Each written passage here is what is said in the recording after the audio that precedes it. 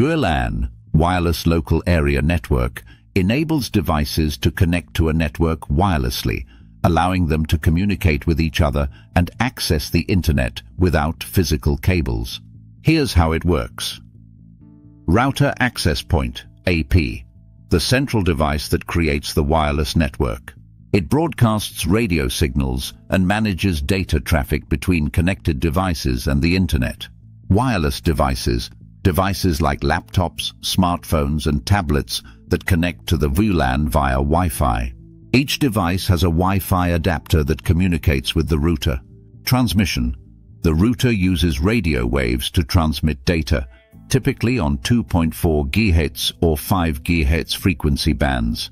These bands are divided into channels, which help reduce interference between multiple networks operating nearby.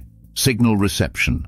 Wireless devices receive these signals through their Wi-Fi adapters, allowing them to connect to the network.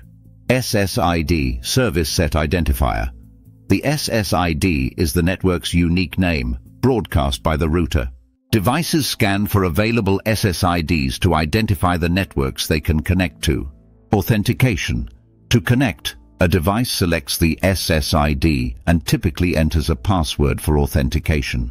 Once authenticated, the device is granted access to the network. IP address assignment. The router assigns an IP address to each connected device, which is used for identifying and routing data within the network. Packet transmission. Data is sent and received in small units called packets. The router manages this data traffic, ensuring that packets are delivered to the correct destination, whether it's another device on the network or a server on the internet. Routing. The router also acts as a gateway to the internet, directing data between the local network and external sites or services. Internet connectivity. The router is connected to an internet service provider, ISP, through a modem. It facilitates internet access for all connected devices, allowing them to browse the web, stream media, and use online services.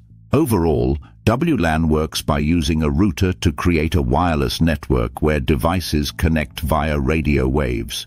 The router manages data traffic, ensures secure communication through encryption, and provides internet access to connected devices.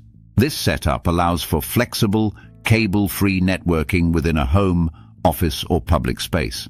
If you enjoyed the video, give it a thumbs up, comment and share it with your friends. Don't forget to subscribe to our channel and hit the bell so you never miss a new video.